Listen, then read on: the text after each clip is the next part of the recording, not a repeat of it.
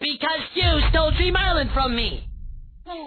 You stole the diary, didn't you, Flower? No, Yeah, you did. no, I didn't! Yeah. Nah! Yeah. Nah! Yeah. Nah! Are you managing to keep up with this teardrop? What? You made a comic? How is this even possible? Teardrop's Pirate Adventure. Have you been doing this instead of writing about the case? Whoa! Calm down. Teardrop, I'm just having a read. Oh, you've got radioactive powers, that's cool. Oh, you killed me with them. That's cool.